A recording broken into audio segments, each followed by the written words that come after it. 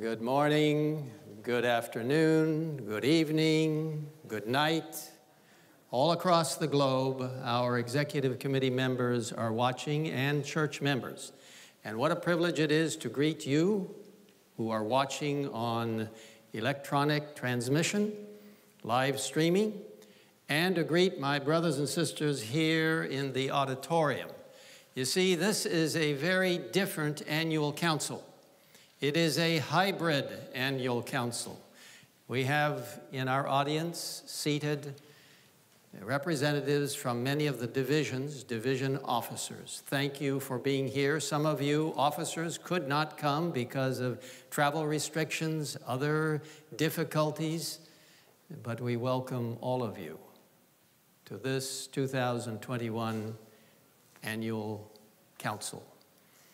In some way, this will also be a good practice run for the General Conference session that we, by God's grace, will be having June 6 to 11, 2022 in St. Louis. There may be a number of you as delegates who will not be able to attend on site. By God's grace, we hope to have electronic connection for you as well. But you know, we have to adapt in these very changing times. That's why, brothers and sisters, as we've had a wonderful beginning to our annual council already, beautiful Sabbath school this morning, and uh, the lead conference, which was so inspiring and encouraging to all of us. That's why, as we focus on mission in these challenging times, we need to say, Give me the Bible. I invite you to turn to 2 Peter chapter 1, following uh, the verses that were just read as our scripture reading, and reading on, beginning with verse 19 to the end of the chapter. And so we have the prophetic word confirmed which you do well to heed as a light that shines in a dark place until the day dawns and the morning star rises in your hearts. Knowing this first, that no prophecy of Scripture is of any private interpretation. For prophecy never came by the will of man, but holy men of God spoke as they were moved by the Holy Spirit. Now, that wonderful passage takes center focus in this message today. What we just read follows the scripture reading of the previous verses, focusing on the reliability of the Word of God. And what a privilege to be part of God's last day Advent movement, hurtling towards the impending conflict and the soon coming of Jesus Christ, as explained in His Word.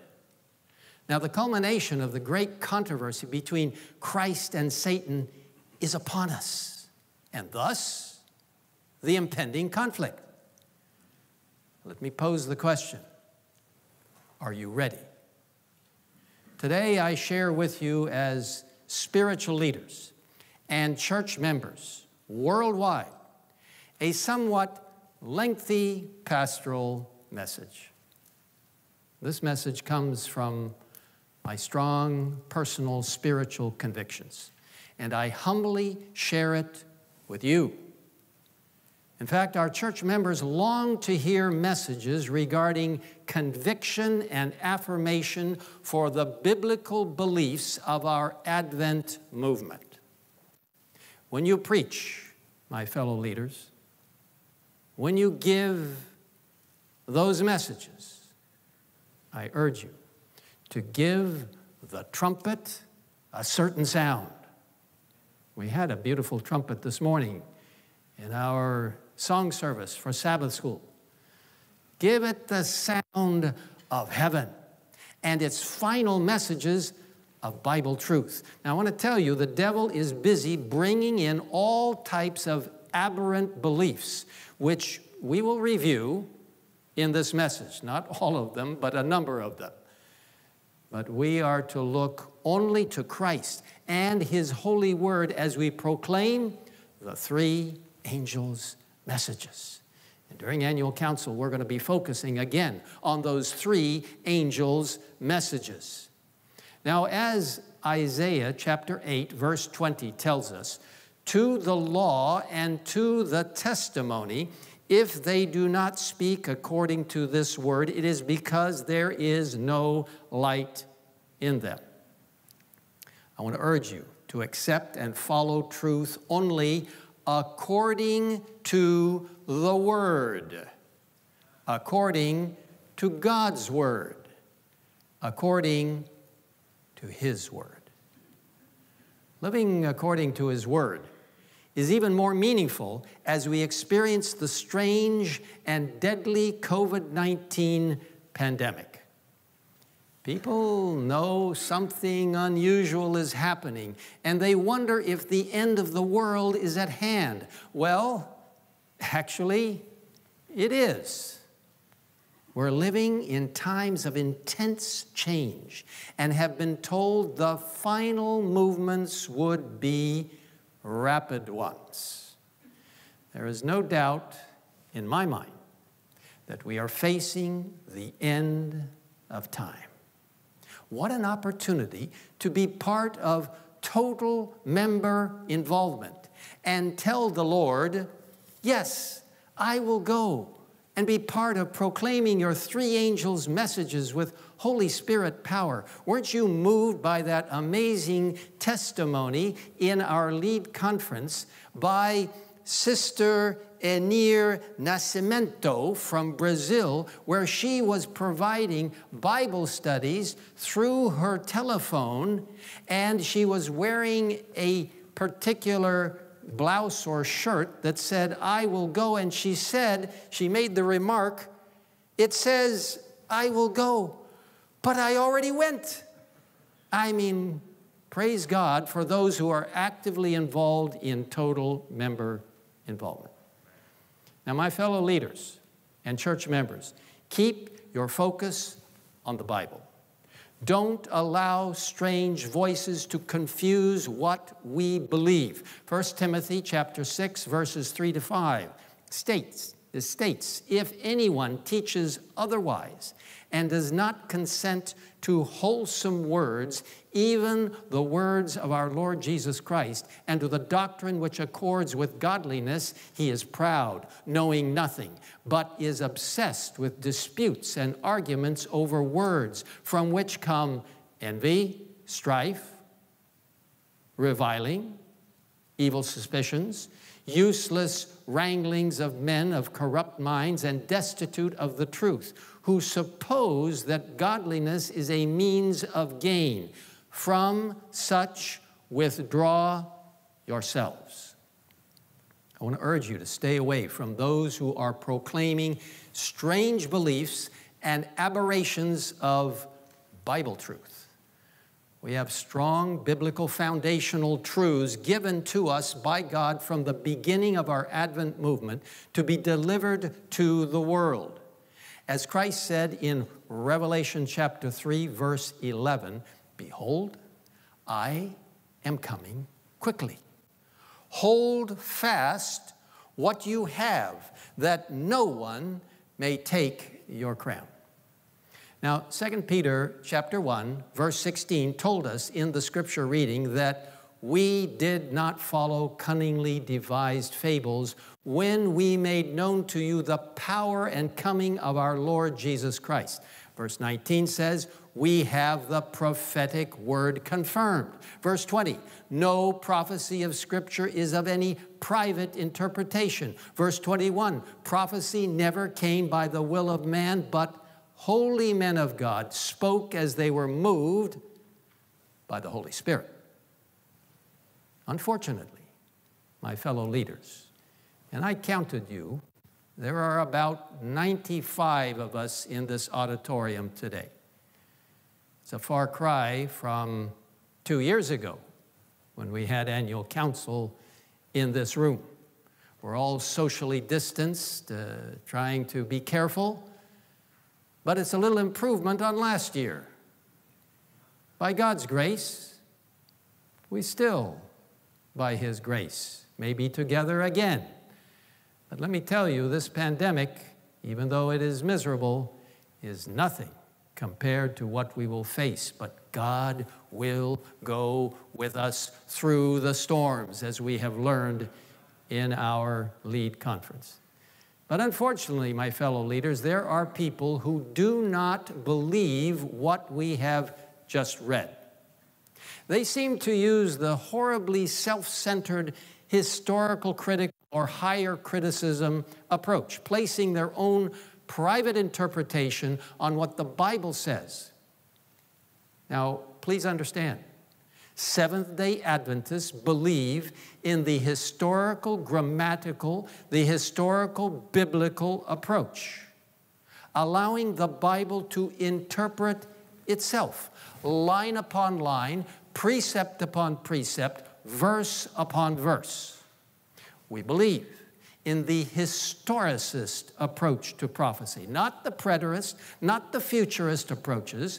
The historical biblical hermeneutical method is the only method accepted by the Seventh day Adventist Church. Do not allow any other methods of biblical interpretation to be used in your churches, institutions, or activities. Methods other than God's approved methods, line upon line, verse upon verse, precept upon precept, will only lead.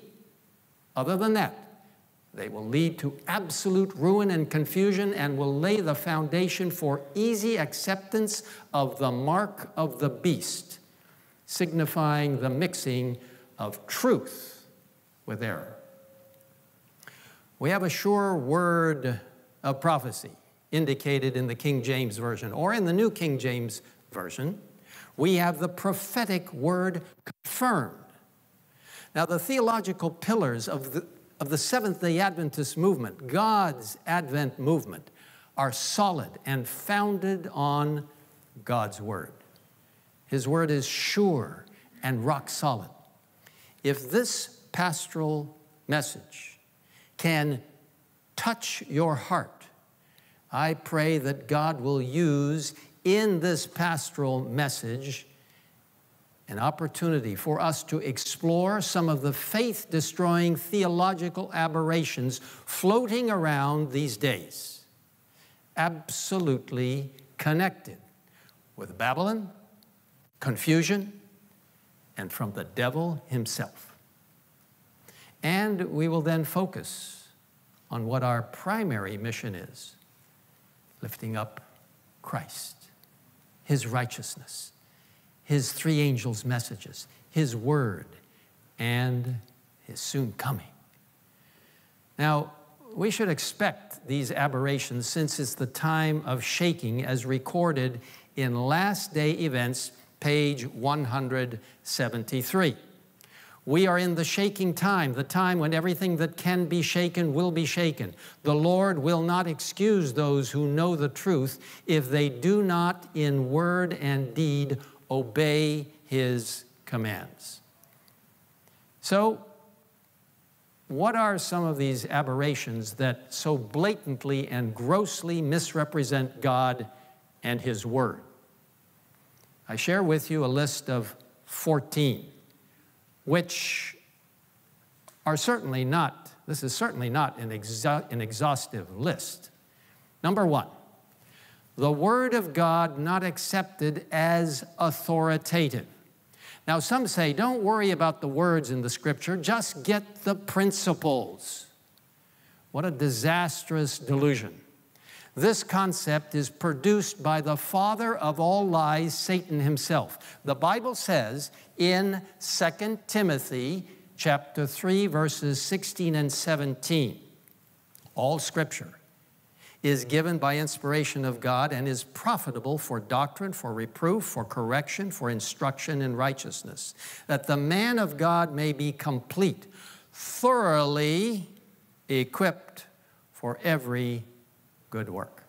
In Revelation chapter 22 and verses 18 and 19, we read, For I testify to everyone who hears the words of this prophecy of this book. If anyone adds to these things, God will add to him the plagues that are written in this book. And if anyone takes away from the words of the book of this prophecy, God shall take away his part from the book of life, from the holy city, and from the things which are written in this book. Now, clearly, the words of God are absolutely essential.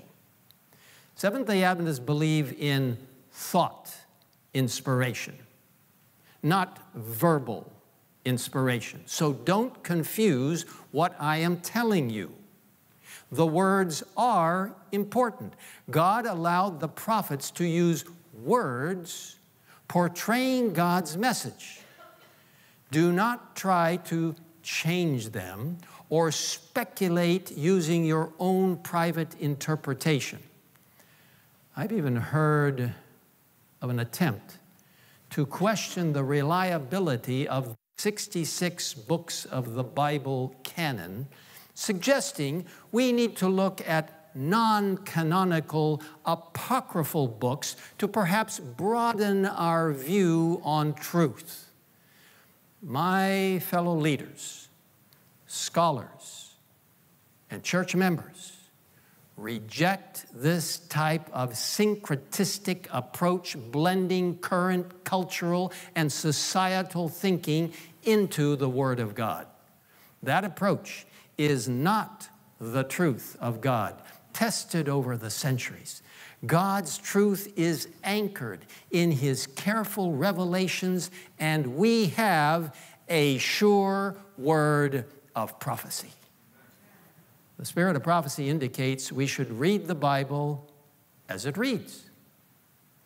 Christ Triumphant, page 226, says, the most learned men in the days of Christ, philosophers, legislators, priests, in all their pride and superiority, could not interpret God's character.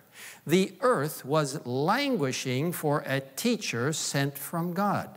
But when he came just as the living oracles specified he would come, the priests and instructors of the people could not discern that he was their Savior, nor could they understand the manner of his coming.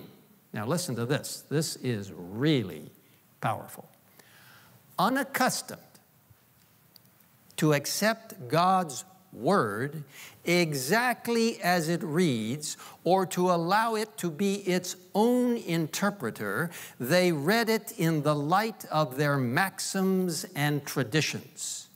So long had they neglected to study and contemplate the Bible that its pages were to them a mystery they turned with aversion from the truth of God to the traditions of men. My fellow leaders and members, all of you watching, I want to urge you to have complete trust in the Bible according to His Word. Number two, the attempts to diminish the spirit of prophecy. Now, Ellen White predicted that there would be attempts to destroy God's work through her. In Testimonies to Ministers, page 51, she states, the result of such work will be unbelief in the testimonies. And as far as possible, they will make of none effect the work that I have for years been doing. People do this by ignoring the spirit of prophecy, challenging the spirit of prophecy, or actually contradicting the spirit of prophecy. You see, the spirit of prophecy, in my opinion, was given by God through Ellen White as special instructions to God's last day church and is verified by Revelation 12 17 and Revelation 19, verse 10. The spirit of prophecy is absolutely reliable and is to be believed and accepted in its entirety. Ellen White was absolutely a prophet of God, and her ministry, including strong messages from the throne room of God about apocalyptic prophecy and instruction, are for all time. As we read the spirit of prophecy, we're convicted of its accuracy, its truthfulness, its relevancy. My dear friends, make no apologies for using or promoting the spirit of prophecy and its heavenly counsel. It is a heaven sent gift of God to the Seventh day Adventist Church and to the world. I firmly believe Ellen White was inspired by God. The spirit of prophecy is according to His Word. Now, the third item is misconceptions about justification and sanctification. Christ's righteousness encompasses His justifying and sanctifying power and is at the very core of the three angels' messages. It is through Christ's justification that we can be righteous in the Father's eyes, just as I remarked in Sabbath school. 2 Corinthians chapter 5, verse 21, one of the most magnificent verses that encapsulates the plan of salvation. It is through Christ's sanctification that we can keep the commandments of God.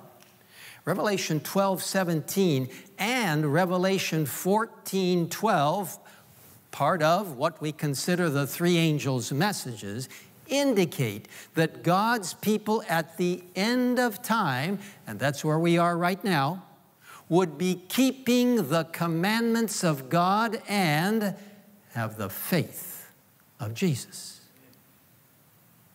It was predicted. Christ's righteousness through justification and sanctification is beautifully outlined in Steps to Christ, pages 62 and 63, and I urge you to read the entire part. But here is a passage from it. We have no righteousness of our own with which to meet the claims of the law of God, but Christ has made a way of escape for us. He lived on earth amid trials and temptations, such as we have to meet. He lived a sinless life. He died for us, and now He offers to take our sins and give us His righteousness. Read the portions in between, but now jumping a little bit ahead. More than this, Christ changes the heart.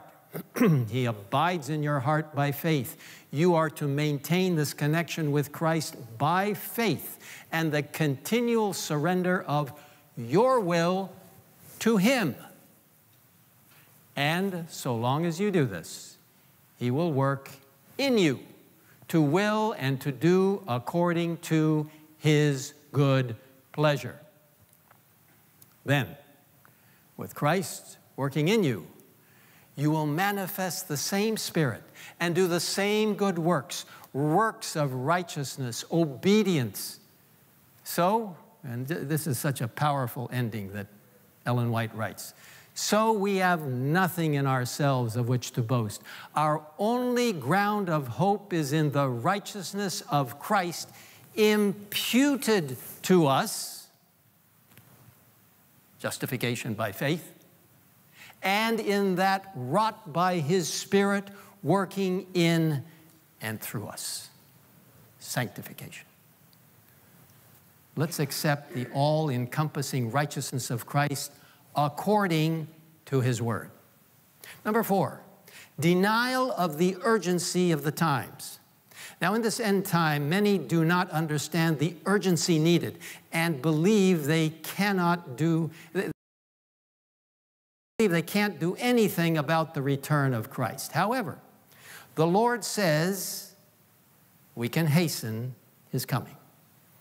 2 Peter 3 10 through 12 indicates the following but the day of the Lord will come as a thief in the night. Therefore, since all these things will be dissolved, what manner of persons ought you to be in holy conduct, and godliness, looking for the coming of the day of God. By God's grace, in total member involvement, we can hasten Christ's coming. Don't pay attention to strange voices that may say, we can't understand prophecy in our current setting. We'll just continue as it is. And none of us, I would tell you, should predict when Jesus will come. However, in the Bible, God has provided many signs indicating Jesus' return. We are very close. As part of the Advent movement, you, every one of you, are vital instruments in God's hands in your division, in your union, your local field, your local church, and in the family to hasten the coming of the Lord according to his word. Number five, humanism versus heavenly inspiration. Now, the onslaught of humanism in culture today has nearly obliterated the understanding that supernatural inspiration is overwhelmingly more powerful than any humanistic philosophy. Teach people to value the power of God and His Word in guiding us in all things and to respect, to reject, I should say, humanism completely. Now, in Matthew 15, verses 8 to 9, Jesus quoted from Isaiah 29, verse 13, saying, These people draw near to me with their mouth and honor me with their lips but their heart is far from me, and in vain they worship me, teaching as doctrines the commandments of men. So, my fellow leaders, fight against humanism and lift up heavenly inspiration according to his word. Number six, disregard for the sanctuary service and the gospel message. There are those who have no regard or understanding of the beauty of the sanctuary and its services, which point to the gospel, the Lamb slain on the cross. We read in Last Day Events, page 177. The enemy will bring in false theories, such as the doctrine that there is no sanctuary. This is one of the points on which there will be a departing from the faith. So I urge you, promote and teach the sanctuary doctrine with Christ, His righteousness, and the everlasting gospel at the center. Biblical prophecies are real, and Daniel 8 14 is absolutely rock solid. Don't believe anybody who says, Oh no, that was only 2,300 literal days and it ended with someone called Antiochus Epiphanes. No, my friends, don't believe that. We, the biblical day year principle given to interpret prophecy allow the Bible to interpret itself. The historicist approach shows us that history has accurately unfolded according to his word. Number seven, ecumenism versus the shaking and sifting of God's church. I strongly urge you to stay away from ecumenism. Instead, Focus on the proclamation of the three angels' messages. Believe what the great controversy says about the end time setting when the shaking and sifting of the church will take place. Yes, we're to make friends with people, but we're never to compromise and engage in religious ecumenical activity. The time will come when we will face terrible oppression horrible oppression. So now we must never compromise in the least on our beliefs and doctrines. Now, last day events page 180, tells us soon God's people will be tested by fiery trials, and the great portion of those who now appear to be genuine and true will prove to be base metal. That is a shocking statement. I, I hope every one of us, by God's grace, will not be part of that group, which shows us to have nothing as a foundation.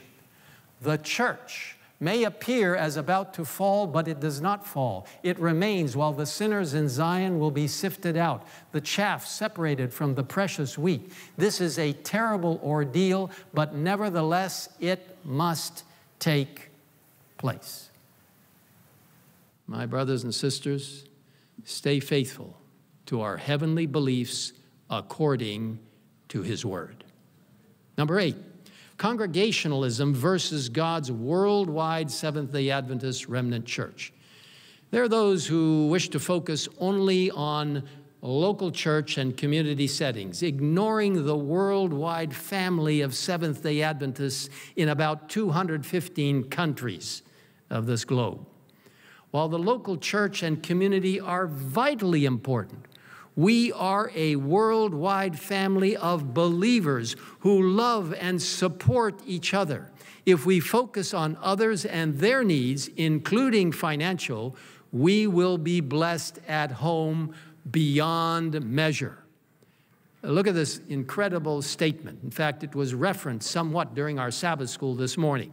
Testimonies, Volume 6, page 27, indicates the following The home missionary work will be farther advanced in every way when a more liberal, self denying, self sacrificing spirit is mani- manifested for the prosperity of foreign missions, for the prosperity of the home. This is really important part of the sentence.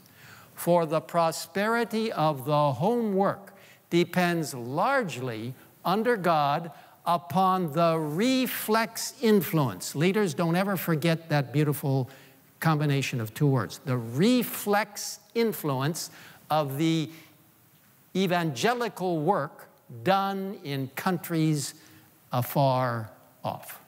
So, fellow believers, think and act globally as well as locally. That's a message from our Sabbath School Personal Ministries Department. God will bless your witness and your stewardship, faithfulness, as you help others far beyond your borders. Stay close to this wonderful world church family and be blessed by God according to his word. Number nine, attacks against the Godhead. Now, there are those who advocate that the Godhead is not three distinct persons, thus diminishing God we know from the Bible and the spirit of prophecy that there is absolutely a Godhead made up of three persons united in one. Now, can I explain that? No, but I believe it by faith. The Bible indicates the three persons of the Godhead have existed from eternity to eternity. They were present at creation, at the baptism of Christ, and will be with us forever. In fact, Matthew 28 19 tells us to baptize in the name of the Father, and of the Son, and of the Holy Spirit. My fellow leaders and church members, the Godhead is three persons according to his word. Number 10, opposition to God's law and his Ten Commandments. Now, there are those who will say the law has been done away with. However, God's law is eternal. We do not keep God's law, the Ten Commandments, through our own power, but only as we lean on Christ and his righteousness. Again, last day events. You can tell I really like that book. I hope it's a familiar one and a favorite of yours. Page 180 indicates when the religion of Christ is most held in contempt, when his law is most despised, then should our zeal be the warmest and our courage and firmness the most unflinching. to stand in defense of truth and righteousness when the majority forsake us, to fight the battles of the Lord when champions are few, this will be our test. At this time, we must gather warmth from the coldness of others, courage from their cowardice, and loyalty from their treason. Fellow leaders and church members, give praise to God for his law according to his word. Number 11, evolution versus biblical creation. The devil has attempted to obliterate all references to God's authority as the creator, including the erroneous idea that the earth evolved over billions of years. Cliff this morning gave tremendous uh, emphasis to the need to understand that Adam and Eve were real, that the earth is really not that old, and that God actually created. I want to tell you both evolution and theistic evolution are opposed to the account of creation found in the Bible and enunciated in the spirit of prophecy. The global flood also denigrated by non believers, is another indication of God's power and authority to remake the world. Anything revealing God's power and authority is challenged by the devil. However, what God does is always good. Genesis chapter 1, verse 31 says, Then God saw everything that he had made, and indeed it was very good. So the evening and the morning were the sixth day. God recently made this earth in six days and rested on the seventh day, which he made holy, reminding us of his creative and redemptive power, which was all done according to his word. Six literal days. Number 12, aberrant lifestyle behavior versus biblical view of sexuality. You know, God created Adam and Eve, the first family, telling them in Genesis chapter 1, verse 28 be fruitful and multiply. Aberrations to God's original plan have come from the devil, so now there are many sexual lifestyles which are opposed to God's original plan and are not part of his purpose for human beings. Romans chapter 1, verse 26 and 27, they clearly state the following. For even their women exchange the natural use of what is against nature Likewise, also the men, leaving the natural use of the woman, burned in their lust for one another, men with men committing what is shameful and receiving in themselves the penalty of their error, which was due. The rampant sexual aberrations in the world are not condoned by the Bible and will not lead to eternal life.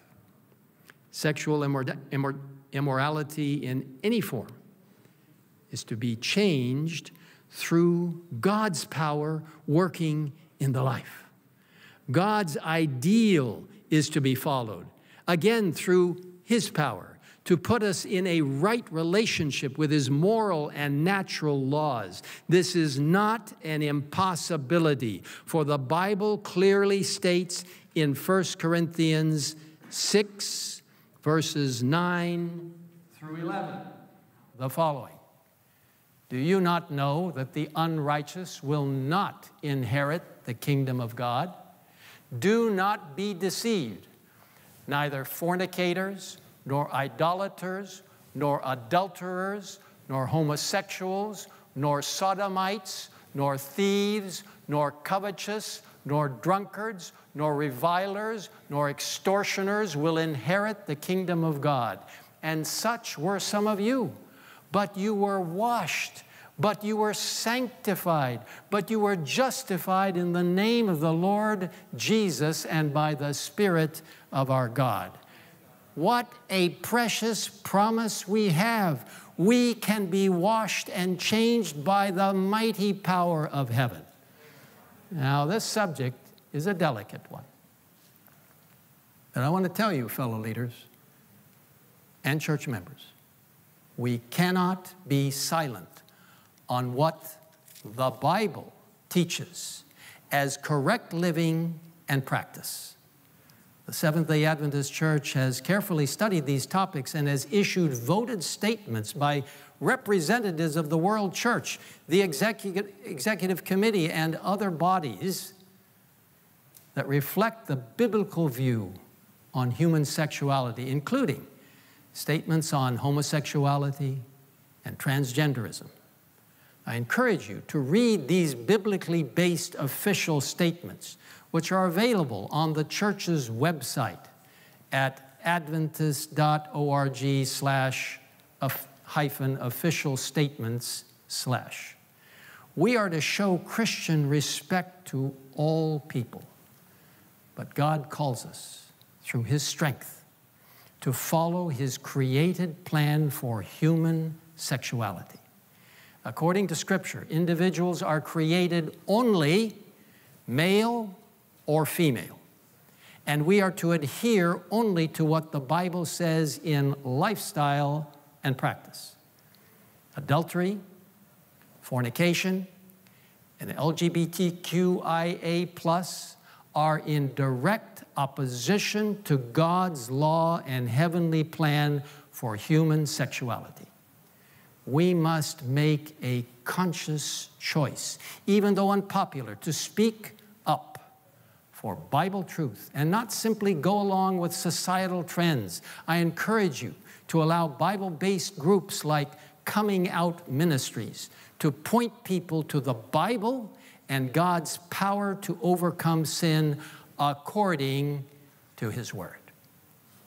Number 13, rejection of temperance versus God's comprehensive health ministry and health reform.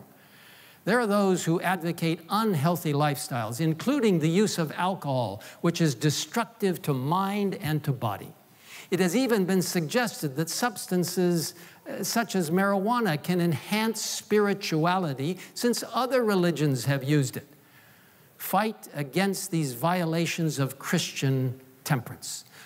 Lift up the banner of temperance against any form of mind altering substance, including all forms of alcohol. The devil will use anything to distract people from God's laws of health and health reform. But God has given us enormous counsel in the Bible and spirit of prophecy for living a healthy lifestyle. Read and follow it as part of the third angel's message to stay away from anything that will defile you. My fellow leaders and church members, stay faithful to God's pure health principles according to His Word. Number 14, disastrous influences of Eastern mysticism. The devil is using Eastern mysticism to bring in all sorts of syncretistic beliefs into the Seventh day Adventist church, including pantheism and other forms of aberrant theological twisting of the Word of God. 2 Peter chapter 2 verse 1 indicates, but there are also false prophets among the people, even as there will be false teachers among you who will secretly bring in destructive heresies.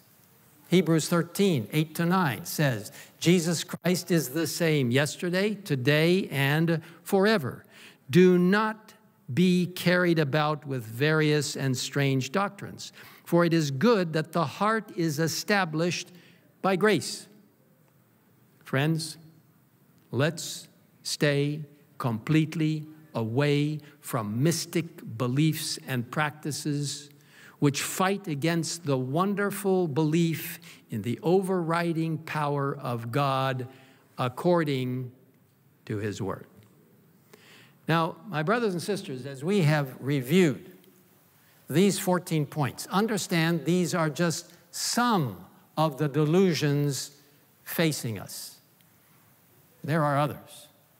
Do not be distracted by these, but rather focus fully on our hopes for the future and our reason for being as Seventh day Adventists according to His Word. Now, in summation, let's focus on our real calling for these last days of Earth's history to proclaim the worldwide message of the three angels' messages.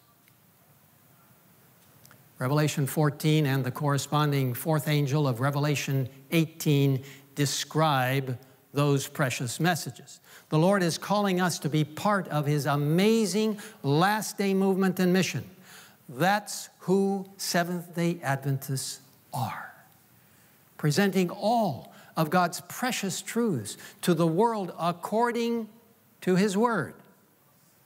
Yes, by His grace, revitalize your work, your church, your organization through revival and reformation pleading with the Holy Spirit to bring spiritual life to each of us and our church members. Let's earnestly pray for the falling of the latter rain of the Holy Spirit to accomplish this work. We need revival, reformation, repentance, and humility to allow the Holy Spirit to lead us. Leading up to the 2022 General Conference session in St. Louis, Pray earnestly for the Holy Spirit to fall on His people and prepare us for our work. Since God formed the Seventh day Adventist Church, His remnant church, to proclaim His three angels' messages of Revelation 14. Testimonies, Volume 9, page 19. A wonderful, inspiring quotation. In a special sense, Seventh day Adventists have been set in the world as watchmen and light bearers. To them has been entrusted the last warning for a perishing world. On them is shining wonderful light from the Word of God. That's a, just stop for a moment. Isn't that an amazing thing? On you, on the world church, we are being bathed with light from the Word of God. They have been given a work of the most solemn import, the proclamation of the first, second, and third angels' messages. Now get these last two sentences. There is no other work of so great importance. They are to allow nothing else to absorb their attention. So don't get sidetracked, preoccupied, or lose focus on why we are Seventh day Adventists. God is calling us to proclaim these messages in a powerful way. I'm reminded of some quotes from our lead conference just ended yesterday. Uh, Pastor Chris Holland appealing to us in his devotional to be watching, to be waiting, to be warning and that marvelous quote from John Bradshaw, where he said, You can focus on the coming crisis or on the coming Christ. What a privilege we have of sharing these messages, but unfortunately, many people do not understand them or have ignored them, and some are attempting to distort and even change the meaning of these precious messages. Now, in order to proclaim these God given messages to the world, we must understand and accept them ourselves as leaders, as members of the executive committee, as church members. So, review with me what the Bible and Spirit of Prophecy tell us about these vitally important and relevant messages for today. Now, we read in Revelation chapter 14, verse 6 and you may think, well, we know all this, Pastor. Why are you going over it? I want to tell you, we cannot go over the three angels' messages enough. They are so relevant for us today. Verse 6 Then I saw another angel flying in the midst of heaven, having the everlasting gospel to preach to those who dwell on the earth, to every nation, tribe, tongue, and people.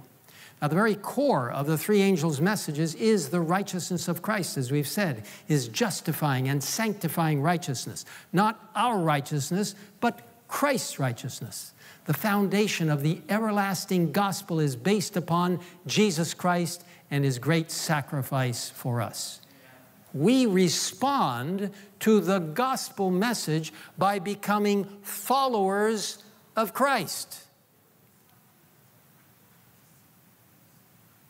Tomorrow, you're going to hear a marvelous testimony from Brother Ed. You'll hear his full name and who he is, of how God has changed his life. And he is now a follower of Christ because he's connected with Christ. You see, the everlasting gospel is eternal the past, the present, and the future, focused on Christ. We are called to preach it to every nation, tribe, tongue, and people. That's why the Seventh day Adventist Church is in 215 countries or so around the world.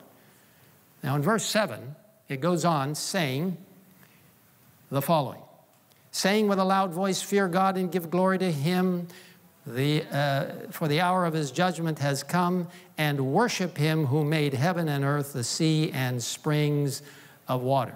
Now, this first angel proclaims with a loud voice, so everyone can hear. Always give God the glory and praise for everything, fellow leaders. Don't give praise and honor to yourself. When someone compliments you, oh, that was a great sermon, Pastor, and oh, you're doing a great work, don't say, well, thank you, that's very good. I've been spending a lot of time, so I, I, I deserve that. No, just say, praise the Lord. Now, the next text says, For the hour of his judgment has come. Yes, we are being judged. Beginning in 1844, the investigated judgment in the most holy place in heaven began as the Lord reviewed the lives of people down through history. One day, probation is going to close. So that's why it's so important to lean on Jesus every day. This judgment is also in front of the entire universe, telling whether God's wonderful foundation of love is just, pure, and true. Of course, it will be shown at the end of time that everything God does is perfect. But the passage states we are to worship Him who made heaven and earth and the sea and the springs of water. This is crucial because it ties into the third angel's message, signifying that God is the all powerful creator. We are to worship Him not only in spirit and truth, but on the day that He has asked us to worship Him. The seventh day Sabbath, the sign of His authority. And it is the seventh day today, and always has been and will be. The Sabbath has not been lost. The seventh day Sabbath will become one of the great controversial topics in the last days.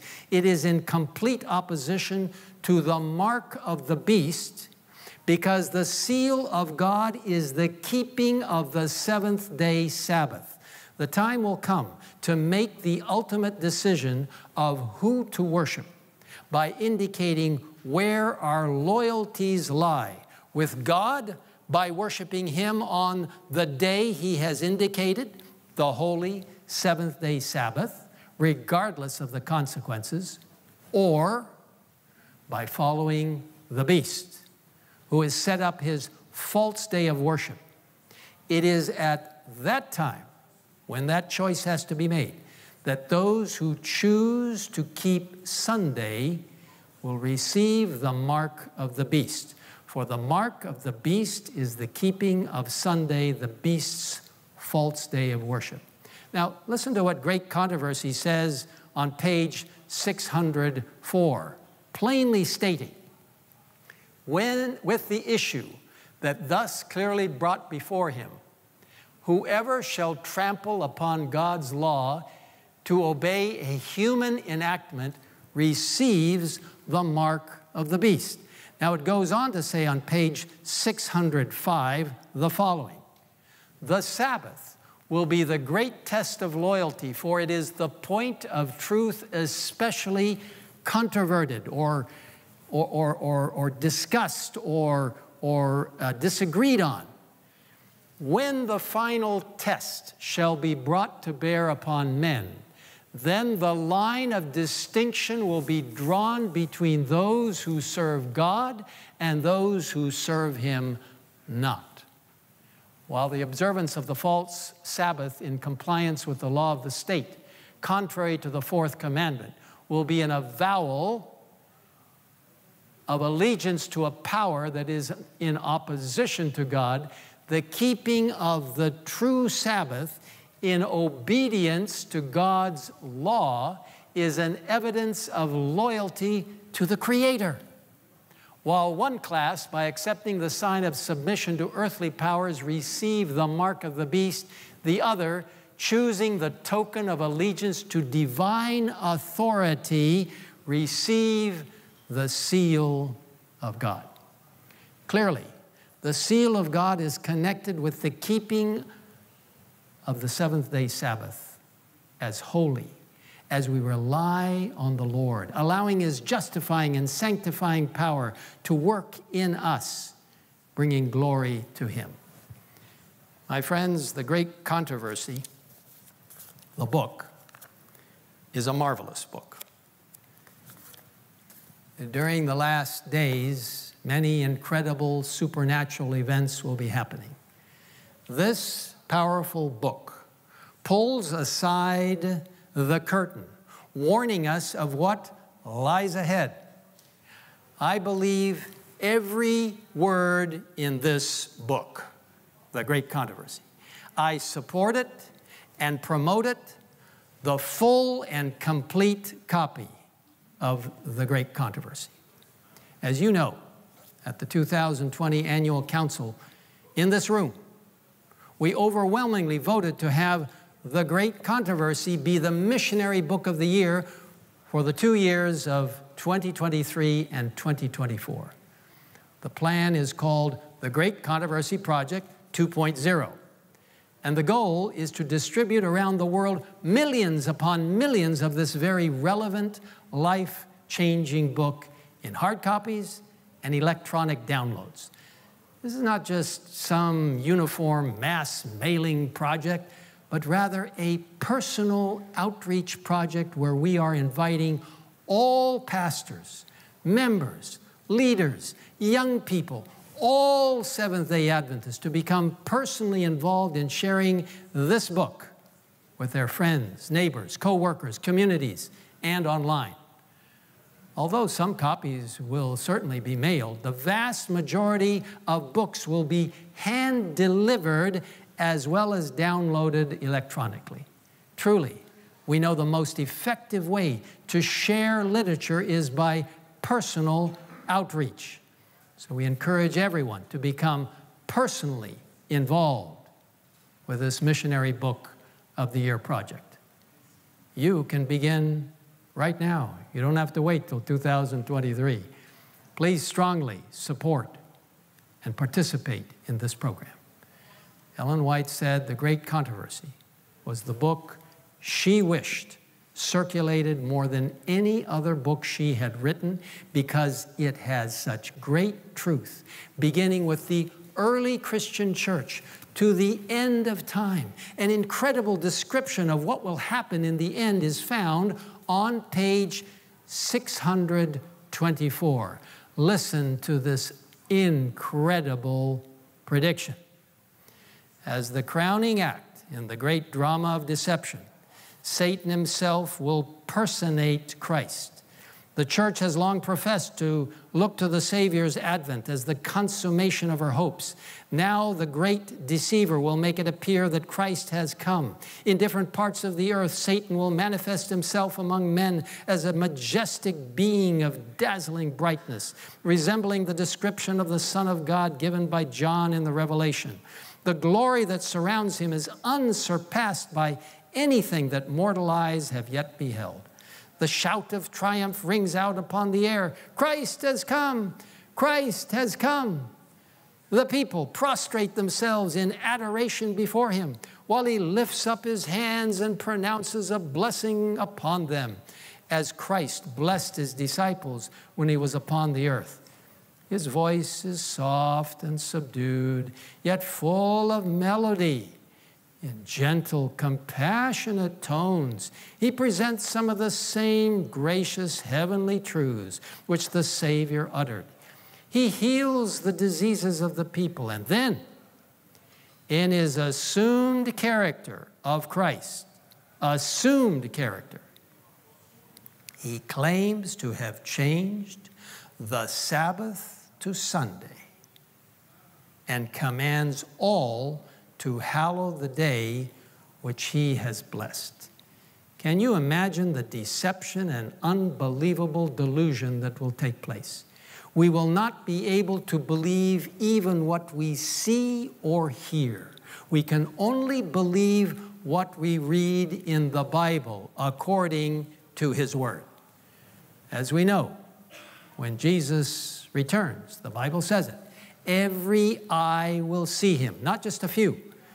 Now, continuing in the great controversy, and this is where it comes down to you and to me. It says, He, that is Satan, declares that those who persist in keeping holy the seventh day are blaspheming his name by refusing to listen to his angels sent to them with light and truth. This is the strong, almost overmastering delusion. And my friends, urge our church members and the world not to be deceived. Let's keep our eyes on Jesus, on His holy word, and that which He is calling us to proclaim. Now, continuing in Revelation, we read in chapter 14, verse 8. And another angel followed, saying, Babylon is fallen, is fallen, that great city, because she has made all nations drink of the wine of the wrath of her fornication. Now, this is the church down through the Middle Ages that continues today led by the papacy.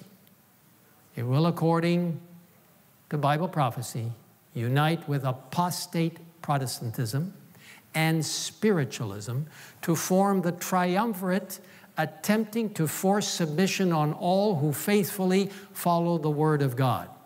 Babylon, a symbol of complete confusion, chaos, and the mixing of truth and error, is fallen because it represents the devil and satanic influences confusing people.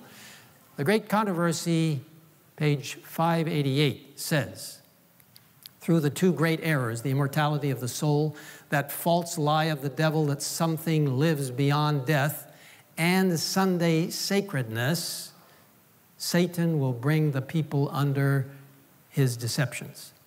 You know, my friends, the belief of the immortality of the soul is nearly universal. But what a comfort to know the truth about death that our loved ones are merely sleeping until Jesus comes. As many of you know, one of our precious grandsons, James, precious little picture of him there. He was a sweet little guy, almost eight years old died a few months ago from Alexander disease, a very rare and fatal neurodegenerative disease. Now, on June 8th, the very day that little James died, we as a family, including Elizabeth, our daughter, and David, our son in law, put James in the ground. It was a simple burial in a family cemetery in western North Carolina where my father in law, mother in law, and sister in law are already buried.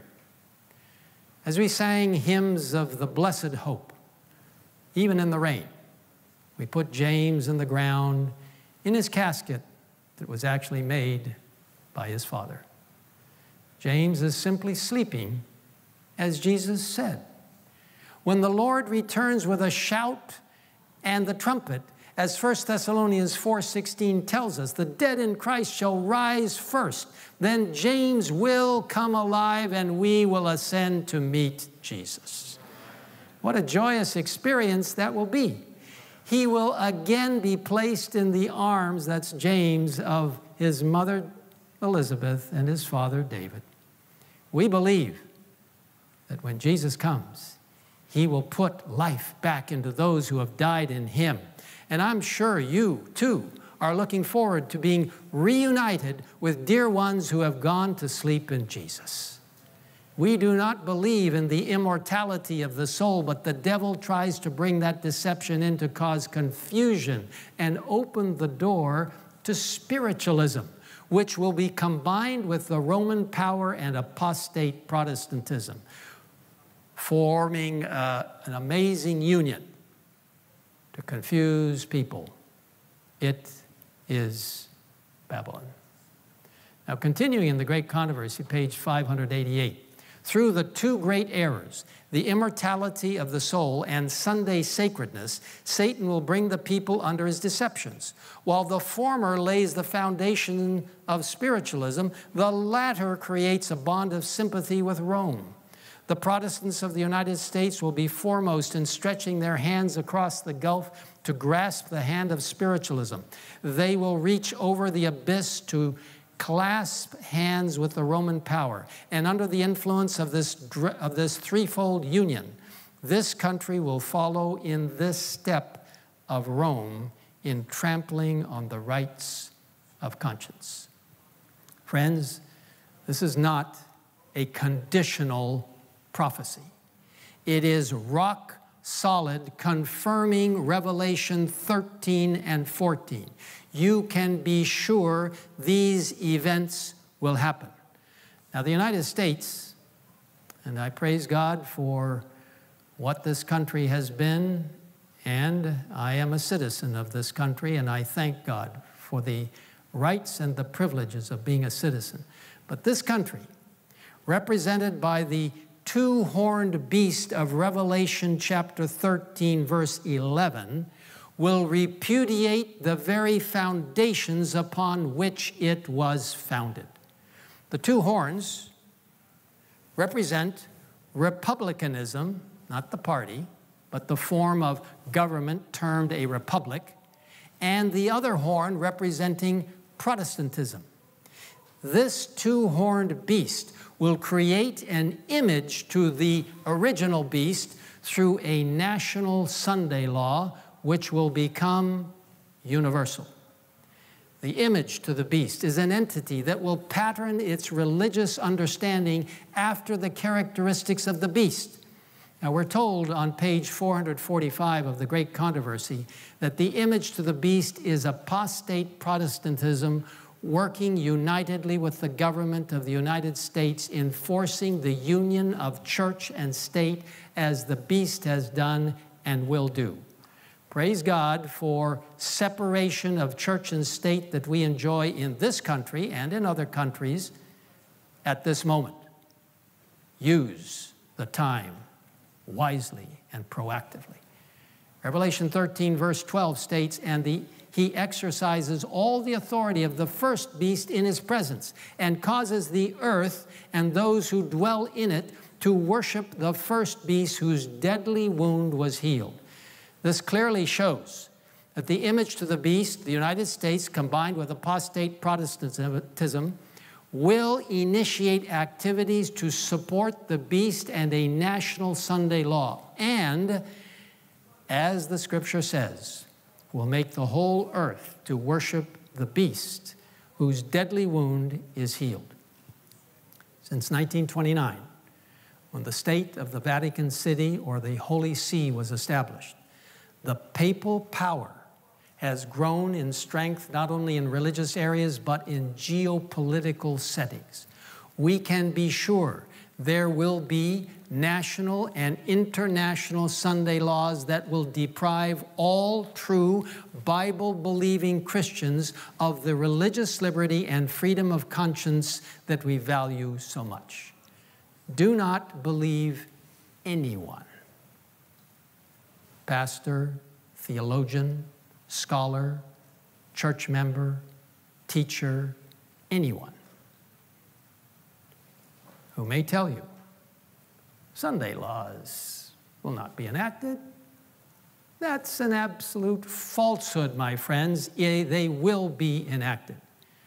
We read in Testimonies, Volume 4, page 595 Ministers who have preached the truth with all zeal and earnestness may apostatize and join the ranks of our enemies. But does this turn the truth of God into a lie?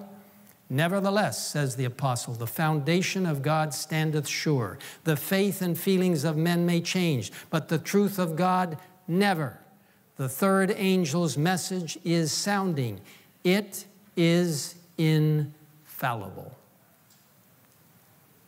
The devil, his supporters, and his false day of worship will appear to have triumphed, but it will not last long.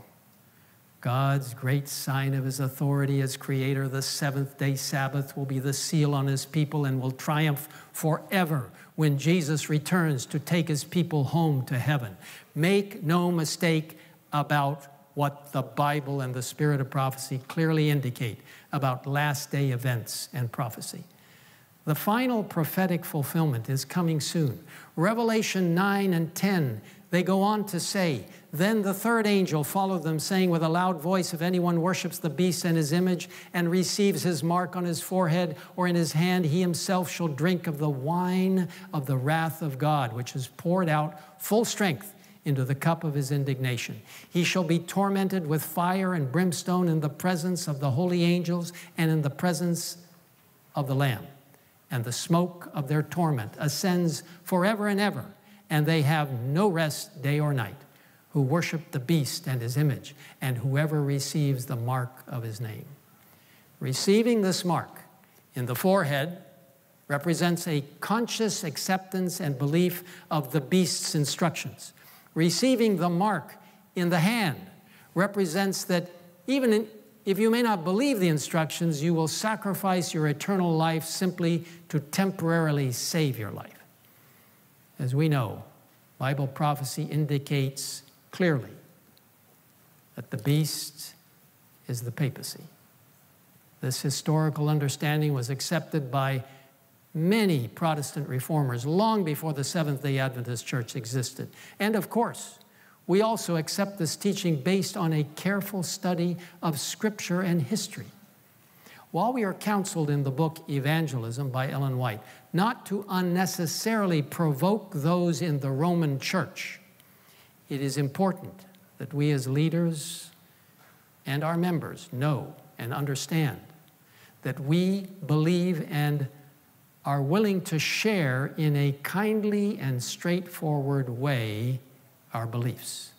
We are not anti Catholic. We care about the salvation of everyone. And we'll find ways of sharing these all important truths with as many as possible while there is still time. We read this straightforward counsel in Spiritual Gifts, Volume 2, page 284. Preachers should have no scruples to preach the truth as it is found in God's Word. Let the truth cut I have been shown that why ministers have not more success is they are afraid of hurting feelings, fearful of not being courteous, and they lower the standard of truth and conceal, if possible, the peculiarity of our faith. I saw that God could not make such successful. The truth must be made pointed, and the necessity of a decision urged. And as false shepherds are crying peace and are preaching smooth things, the servants of God must cry aloud and spare not, leaving the result with God. In Last Day Events, page 224, we read the following. And I say this kindly and with careful love, but it's the truth. The mark of the beast is the papal Sabbath. When the test comes, it will be clearly shown what the mark of the beast is. It is the keeping of Sunday, The sign or seal of God is revealed in the observance of the seventh day Sabbath, the Lord's memorial of creation. The mark of the beast is the opposite of this, the observance of the first day of the week. I want to tell you, my fellow leaders, I believe every word of this explanation from the spirit of prophecy, and I hope you do too. Don't allow anyone to distract you from Bible and spirit of prophecy truth. Are we and our people ready for what is coming? Lean on Christ and His Word. Ponder this from Last Day Events, page 136. The whole world is to be stirred with enmity against Seventh day Adventists because they will not yield homage to the papacy by honoring Sunday, the institution of this anti Christian power. Are you ready for that? Am I? Continuing on page 137 from Last Day Events. All Christendom will be divided into two great classes those who keep the commandments of God and the faith of Jesus, and those who worship the beast and his image and receive his mark. Both of these quotations are very sobering. You see, the three angels' messages end with marvelous verse 12. Here is the patience of the saints. Here are those who keep the commandments of God and the faith of Jesus. By God's grace and power, let's keep all the commandments of God. Let's have complete faith in Jesus, who is our righteousness as we proclaim those three angels' messages, the Holy Spirit will guide our church to be unified in its approach. In Principles for Christian Leaders, page 306, and this is a powerful quote, we read the following His transforming grace upon human hearts will lead to unity that has not yet been realized. For all who are assimilated to Christ will be in harmony with one another. The Holy Spirit will create unity. I am instructed to say to Seventh day Adventists the world over, all over the world, God has called us as a people to be a peculiar treasure until Himself. He has appointed that His church on earth shall stand perfectly united what? By actions we take? By our professed belief? No. Perfectly united in the spirit and counsel of the Lord of hosts to the end of time. When the powerful injunctions of the third angel are proclaimed, there will be highly unusual responses. On page 307 of the same book, we note Heretofore, those who presented the truths of the third angel's message have often been re- regarded as mere alarmists. Their predictions that religious intolerance would gain control in the United States, that church and state would unite to persecute those who keep the commandments of God, have been pronounced groundless and absurd. It has been confidently declared that this land could never become other than what it has been the defender of religious freedom but as the question of enforcing Sunday observance is widely agitated, the event so long doubted and disbelieved is seen to be approaching, and the third message will produce an effect which it could not have had before. So, my brothers and sisters, and I recognized, and I said it at the beginning, this was a somewhat lengthy pastoral message. We need to know what we're facing. As we share God's three angels' messages, I encourage you, as leaders, as church members, Number one, study deeply and believe the three angels' messages personally and allow them to transform your heart.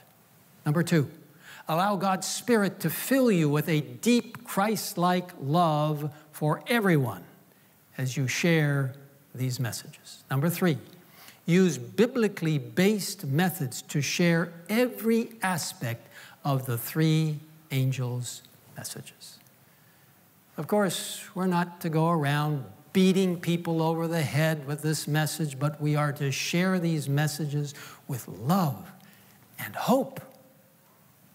The three angels' messages not only have strong warning, but great hope through the righteousness of Christ as revealed in the everlasting gospel. You know the story of Isaiah in chapter 6, telling of the uh, amazement in God's throne room and feeling how Isaiah felt very inadequate. But the Lord's angel touched Isaiah's lips with a live coal, symbolizing the cleansing of his sin. And in Isaiah 6 8, God asked, whom shall I send? And who will go for us? The Godhead. Isaiah immediately responded, Here am I, send me. In essence, Isaiah said, I will go. As you all know, the Seventh day Adventists' strategic plan for this quinquennium has the theme Reach the world, I will go. God wants each of us to be involved in his last day saving proclamation of the three angels' messages. He invites us to respond to him by saying, Yes, Lord, you've given us these three angels' messages and the fourth angel of Revelation 18. Lord, use me. Here I am. I will go and share these messages according to his word. And one day, very soon, we're going to look up in the eastern sky and see a small cloud approaching about half the size of a man's hand, we're told, we will realize it is the second coming of Jesus Christ. That cloud will get brighter and brighter and larger and larger, and all of heaven poured out for this climactic event. And in the middle of that cloud, we will see Jesus. We will say, this is the God that we have waited for, and He will save us. And Jesus will look down and say, Well done, good and faithful servants. Enter into the joy of your Lord. And we will ascend to heaven together. I long for that day. We'll see little James again by God's grace. You'll see your loved ones who have died in the Lord. But the most important thing is we will see Jesus. You'll look around and you'll see those whom you've invited because you said, Yes, Lord, I will go and be part of God's last day message to this world. My dear brothers and sisters, whether you are watching on Zoom, whether you're seeing it live streaming, whether you're here in the auditorium, if you want to commit yourself to Christ and proclaim his last day, three angels' messages through Holy Spirit power as we approach the impending conflict and Christ's soon coming, would you join me in standing in commitment to the Lord and his word right now? Amen. Let's pray. Our loving Father in heaven, we are humbled by the fact that we can speak to you directly through prayer. We're your children, your sons and daughters, by the grace of Jesus Christ, through creation and through redemption. And now we await your continued empowerment on us to fill us with the Holy Spirit. And Lord, please send the latter rain of the Holy Spirit to fall upon your church. Revive us, reform us, help us to repent, and in all humility to submit to you. For what we face in the future has very little resemblance to the difficulties and pandemic that we have just gone through and are going through. Because the future will seem very bleak and difficult. But Lord, we have read your prophetic word, and we know what to expect, and we know upon whom we can count on the mighty power of Jesus Christ. So as we submit ourselves to you now, leaders, church members. We ask that you will help us to defend your holy word, that the Holy Spirit will help us to help our not only church members, but the world know the Bible truth. That yes, we will be watching and waiting, and we will also be warning and giving power to the Word of God, not by our own power, but because the Holy Spirit speaks through us to help people prepare for that climactic day when Jesus will return. We thank you for this. We ask all of this in the name of our Creator, our Redeemer, our Master Teacher, our Master Physician, our coming King, and our best friend, Jesus Christ. Amen. May God be with you, and may you have a wonderful Sabbath as you leave this place saying, Yes, Lord, I will